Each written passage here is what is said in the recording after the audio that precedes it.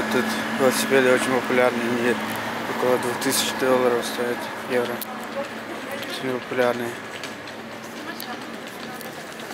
Vespa.